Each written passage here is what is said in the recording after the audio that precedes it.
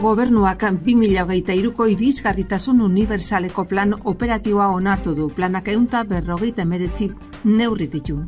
Nafarroan zuteak prebenitzeko zaintzeko eta itzaltzeko 2008 plana onartu du gobernuak. Nafarroko gobernu iruñeko udalak ukatu zion laba elkarteko terraza baimenduko du. Energiaren ekoizpena eta konsumoa herritarren beharren arabera eta era demokratikoan antolatzeko manifestoa aurkeztu dute. Olo konsellaria berako ikaslek sortutako bizikidetzaren aldeko murala bizitatu du. Sormen prozesua leire urbeltza artistaren zuzendaritzapean eginda. Nafarroko gobernuak etxe bizitza loka iruen kontratuen erregistroa sortu du prezioen lehen erreferentzia erreala izateko. Iruñako minbiziaren aurkako bedetzigarren martxe kainaren amaikan kaleetara itzuriko da ikerketa finantzatzeko udala babesle duela. Maria Jimenez Moreno artistaren meditazioak erakusketa inauguratuko du Nafarroko museoak. Donestebeko mende abesbatzak udaberriko konzertu emanen du larun batean, berriozarko elkarrekin abesbatzaren laguntzarekin emanaldi arratsaldeko zortzitan izanen da Donestebeko elizan. Garbigunea finantzatzeko bosteunta zortzi mila euroko laguntza erdietzi du baztango dalaka. Euskal Herrian literatura beltza sustatzeko zazpigarren hilbeltza bekaren irabazlea jakinarazi du da gaur eguerdiko amabitan Elizondoko udaletxean.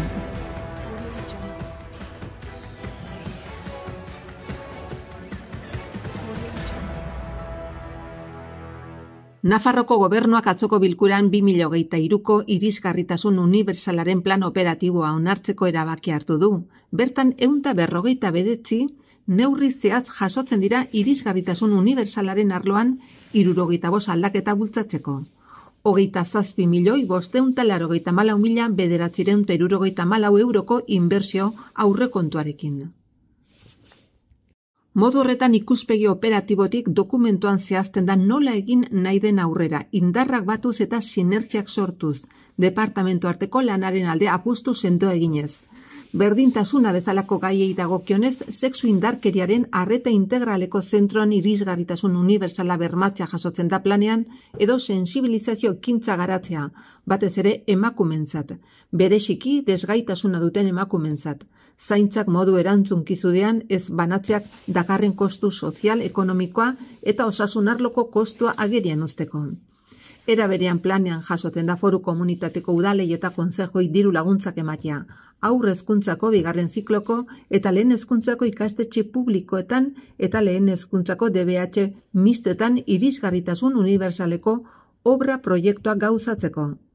Horrez gain, ekintza mordo aurrikusten dira eraikin eta espazio desberdinetan eragozpen arkitektonikoak ezabatzeko irisgarritasun unibersalera egokitzearen irakurketa erraxeko seinale edo persona gorrentzako indukzio magnetikoko begizta eta guztien. Nafarroko gobernuak astiazken honetako saioan, Nafarroan baso zutea prebenitzeko zaintzeko eta itzaltzeko 2008 iruko urteko plana onartu du. Baso zutea prebenitzeko eta murrizteko neurriak eta jarduera sozioekonomikoa meteo alerta mailaren arabera mantentzea bateragarri egiteko. Dokumentua lendakaritzako berdintasun eta funtzio publikoko landagarapeneko eta ingurumeneko departamentoak koordinatutako baterako lanaren emaitza izan da. Jakina denez Espainiako gobernuak errege dekretu bat eman zuen 2008ko abuztuan zeinek makineriaren erabilera debekatzen duen zuteak eragiteko bidea eman lezaketen lursail ez urbanoetan adierazle gorenaren edo muturrekoaren egoeratan. Adierazle hau aldagai ezberdinen arabera finkatzen da, temperaturak aizea eta giroren lehortasuna. Horrek erran nahi du, eurila zen urteetan izan ezik, zuten arrisku gorena edo muturreko urteko hainbat hilabetetara edatu izango litzatekela. Uda sasoia zaratago, horrek nekazaritza eta basolanetan ala nola herri lanetan naiz lan pribatuetan eta berzelako jarduretan erabilitako makinariaren erabilera konprometituko luke. Debekuekiko salbuespen nafarrak dira zehazki usta eta paketatze jarduerak baimenduko dira lehorreko eta ureztatzeko ere muetan, meteoalarta laranja eta uriarekin eta prebentzio neurriak hartuz erabilitako makinariaren arabera. Bertzalde berritzaile da Nafarroko erdiguneko hiru azpi eremuen egoera hoietako bakoitzan baimenak zorroztasun handiagoarekin finkatzeko orduan.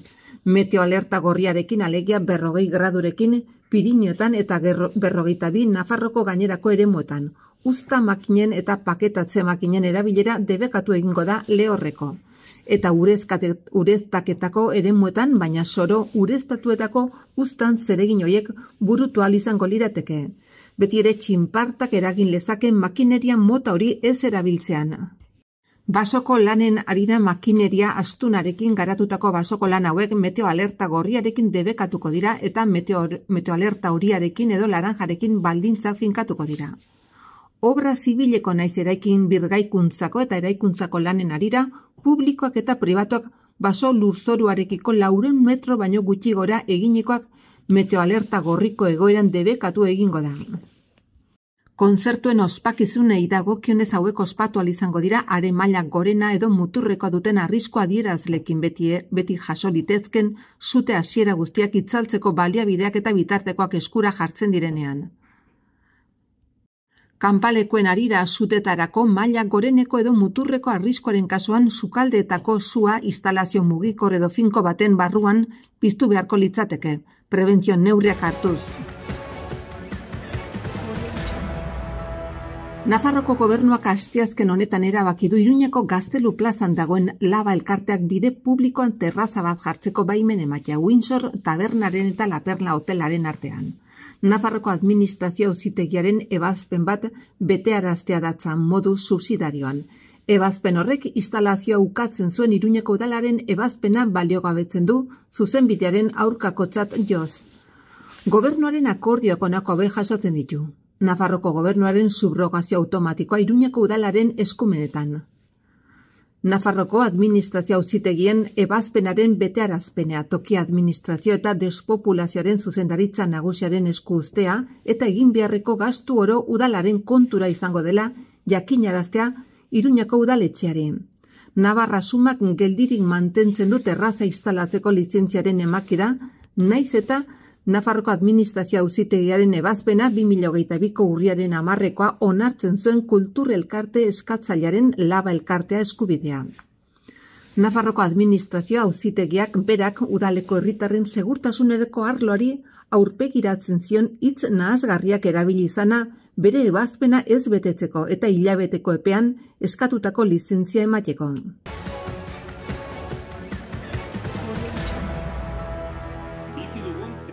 Planetak bizi duen krisi energetikoaren aintzinean, Nafarroko lurraldean dauden hainbat mugimendu sozial sindikatu eta beste erakunde elkarrekin lanean ari dira. Bidezko eta neurrizko energia kanpainan, lurzoru sozial bat ziurtatzea eta sabai ekologikoa batera egokitzea lelopean, kanpaina honek energiaren gaia landu nahi du ekoizpenari eta konsumoari dagokionez, beharrak asetzean eta erabakiak demokratikoki hartzean harreta jarriz. Zer esan nahi dugu, sabai ekologikora egotz, egokitzearekin? Alde batetik, erregai fosilen erabilerarekin lotutako emisioak, gure gizartetako energia iturri nagusia direnak, klima maila arriskutsuetaraino ez egon kortzen ari dira. Eta eskura dagoen evidentzia zientifikoak ez du defendatzen egoerarik okerrenak saietz daitezkenik aldaketa eh, teknologiko utxekin eta egungo kontsumo mailak mantenduz. Bestalde, naiz eta egungo energia krisiak zerikusi handia izan faktore geopolitikoekin, egiturazko faktoreak ere badaude atzean. Horiek direla eta urrengo urteetan dagoeneko ustiatu direlako eta horrek baliabide horien eskuragarritasun txikiagoa dakarrelako haien erauzketa garestiagoa baita energetikoki eta ekonomikoki. Eta horrek lurzoru sozialaren auzira garamatza energia pobreziaren mailak gora egiten ari dira, modu kezkagarria. Gainera ikusten dugu, energia garestitzeak bizitza garestitzea dakarrela. Industrian ekoizpena gelditzeak lanpostuak arriskoan jartzen dituela eta nekazaritzako elikagaien ekoizpena arnasi gabe asfixiatuta dagoela. Azken batean, biztanleriaren zati gero eta handiago batek oinarrizko premiak asetzeko zaitasunak dituela ikusten du.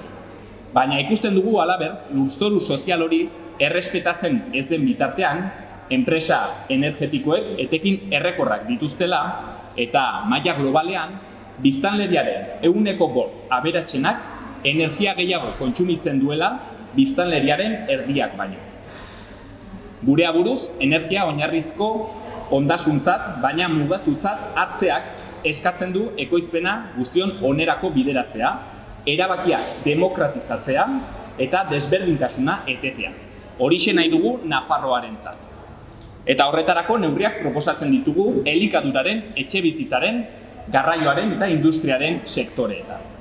Gure manifestua, la energia justa.org webgunean dago eskuragarri, eta herritarrak eta erakundeak atxikimenduekin bat egitera animatzen ditugu.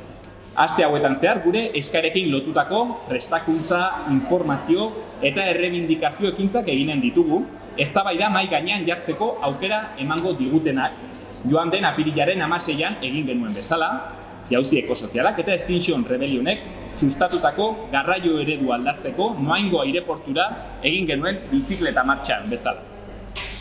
Behin irakurri genuen krisi energetikoak aginetako mina bezalakoak direla. Sentitzen ditugunean zerbait gaizki doala dela. Gaur egun energiak min ematen badigu zerbait gaizki doalako da. Baina hauko egiten diogu analgesiko bat hartzeari eta sintomak arintzeari aratogo joan nahi dugu eta min hori ez dezatela bertze behin klase herrikoiek pairatu.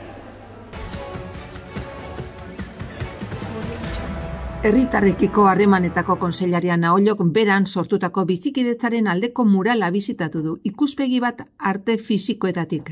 Memoria bizikidetza eta giza eskubidei buruzko zazpigarren jardunaldien testu inguruan. Jardunaldi hori, Nafarroko gobernuko bakearen bizikidetzaren eta giza eskubiden zuzendaritzan nagusiak bultzatu du, berako udalarekin lankidetzan. Leire Urbeltz artistak zuzendutako prozesuan udalerriko ondorengo lau ikastetxetako ikasleak hartu dute parte. Biotz Santuaren ikastetxea Ricardo Baroja Eskola Tokiona, bigarren hezkuntza ikastetxeta Labiaga ikastola. Ikaslek tailerren bitarte zideien ekarpen eginez eta artistak diseinatu eta sortu duen muralean bertan margotuz parte hartu dute. Muralak bi mundu ezberdinen arteko ezinezko harremanak biztaratu ditu alde batetik, gerra bunkerrak elkartu ditu, eta beste batetik irainaren berreskurapena bazterketaren narratiba desmuntatzeko mekanismo modura proposatzen duen arrazakeriaren aurkako ker teoria dakarra. Irudi hori osatzeko Jon Abril idazlaren esalda, esaldi badator, desberdinen arteko solasak maitasunaren gotorleku. Esaldia ikaslek landu dituzten idei guztiak kontuan hartu ondoren sortu da. Nafarroko gobernuko etxe bizitza zuzendaritza nagusiak argitaratu du Nafarroko aldizkari ofizialean etxe bizitzak alokatzeko kontratuen erregistro ofiziala sortzeko ebazpena tresna hori baliagarria izango da Nafarroan dauden errentamentu errenten merkatuko prezio erreal guztien lehen erreferentzia izateko. Bai eta haien berritzetan itunduko diren igoera posiblena ere edo eremu berexiki tensionatuak definitu alizateko. Ondoren alokairuko prezioak arautzeko neurriak aplikatzeko, neurri oie fiskalak edo igoeren mugakoak izan. Kontratuak Nafarroko errentamentu kontratuen erregistroan iskribatzea nahitan egiozko izango da foru komunitatean indarrean dauden etxe bizitzen alokairu guztietarako. Ekainaren amaikan iruñan Nafarroko minbiziaren aurkako eta ikerketaren aldeko bedetzigaren martxa eginen da. La izterketa horren bidez, 2008 makaz geroztik eun talau milioi euro bildu dira, bosteun ikerketa proiektutik gora finantzatzeko. Nafarroan zehazki Espainiako minbiziaren aurkako elkartea urten amar milioi euro jotzen duten ikerketa finantzatzen ari da, biziraute tasa euneko berrogeita marretik euneko irurogeita marrera igotzea helburu hartuta. Ikerketa medikorako finantzak eta lortzeko elkartasunerako deia egiteaz gain, Espainiako minbiziaren aurkako elkarteak bizi ohitura osasungarriak prebentzio modu gisa hartzeko beharraz sensibilizatzeko lan egiten du eta baita kaltetutako personekiko eta haien familiekiko gizarte elkartasuna bilatzeko eta haien eguneroko bizitza eta premiak ezagutarazteko ere. Nafarroko minbiziaren aurkako eta ikerketaren aldeko bedetzigarren martxarako izen ematea online egiten alda, maiatzaren amabostean hasi eta laizterketaren aurreko egunera arte.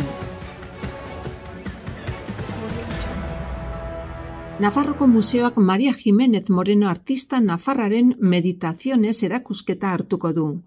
Ilak amaikan hasi eta 2008 lauko martxoren amazazpirarte. Erakusketa aurkeztu da eta bertan izan dira Ignacio Apestegia Bianako Printzia erakundeko zuzendari nagusia eta Mercedes Jober Nafarroko Museoko zuzendari egila lagundutela. Meditazioak erakusketa naturari egindako eskaintza gisa ulertzen da. Bertan elementuek zinezko eskaintza bat osatzen dute, hormetan edo tenpluen telatuan zintzilikatzen den eskaintza, egin beharreko bidearen erakusgarri eta bizitzaren ernamuina aipatzen dute sorkuntzaren eta interkonexio universalaren simbolo bihurtzen dena. Duela urte batzuetetik onak, Maria Jimenez Morenoren lanak eun gintzan jartzen du arreta batez ere, kakorratzaren lanean teknika tradizionalak berreskuratzeko eta jatorri antropologiko zein kulturalak bilatzeko metodo gisa. Amatasuna bizipen errepikorra da bere azken piezetan non egoera berri horren esperientziei buruz hausnartzen duen. Ariak eta oialak hazi, kimu edo zurtoin bihurtzen dira, eta lore, zorro edo frutu bihurtzen dira.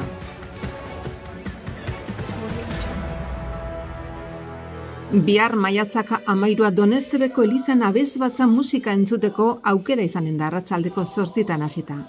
Konzertuko protagonista berriozarko elkarrekin abesbatza izanen da, baina saioa irekizeko donestebeko mendi abesbatzak bi ongi etorri kanta abestuko ditu. Mendi abesbatzak antolatuko du emanaldia eta 2008an hasitako elkar truke baten ondori izanen da. Orduan, mendi abesbatzakoak izan ziren berriozarrera joan ziren nak konzertua bestera. Garai eta tankera desberdinetako musika abestuko dute Kristina Sevillanok zuzenduta. Gerturatzen, diren guztien gustagarri zaileko asmoz,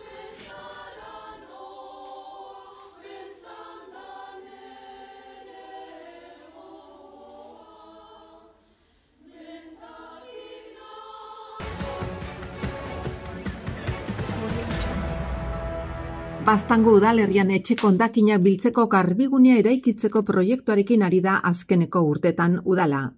Proiektuaren gauzatzea zortzireun eta zazpi mila berreunte irurogeita zortzi euroko aintzin kontua du eta aste hontan proiektua gauzatzeko Nafarroko ondakin pastorgoaren diru laguntza berria erdietsi du. Hau da, bosteunta zortzi mila berrogeita bos eurokoa. Horri, nes generationetik eta ondakin funtsetik gehitu behar zaizkio, eunta emezortzi mila laureunta malau eta eunta meka mila bosteunta berrogeita mazazpi euro urren ez horren. Udalaren gain, irurogeita bedetzi mila berreunta berrogeita mar euro geldituko da. Garbigunea iruritan eginen du udalak, zaldubiko poligonoan hor ikusi baitu lurzoru egokia horrelako zerbitzu antolatzeko. Modu berean, aste hontan hasierako proiektua moldatzeko esleipena egin du udalak, inundagarritasun arriskoak saiesteko alagindu baitio Nafarroko gobernuak. Proiektuaren moldaketa Ramon Preciado Jimenez eman dio, hogei mila zazpireunta berrogeite meretzi euroan, bere eskaintza oberena izan baita egin den prozedura simplifikatuan. Zerbitzu honekin, herritarrek, bastandarrek etxeetako eta komerzietako ondakinak usteko toki berria izanen dute. Alde batetik, ondakin bereziak usteko, hau da pintura poteak, bateriak, produktu kutsatuen ontziak, luminariak, zirrikak, motorreko lioak, plastiko gogorrak, mailak, kaxak, eta bertzetik traste handiak, adarrak, zurak, ondakin metalikoak. Aldi berean etxe etxe biltzen dituen traste handia biltzeko tokitarako erabiliko dudalak eta etxetako, komerziotako eta etxe etxeko bilketako ondakinak sailkatzeko ere bai. Ondotik tratamentuko gunerat eramateko. Proiektuarekin aspaldiko hasi zen udala, baina lurzoru egoki baten faltan proiektuak gibeleratu da. Garbigunea urtearen ondarrerako egina egotia aurre ikusten du bastan udalak.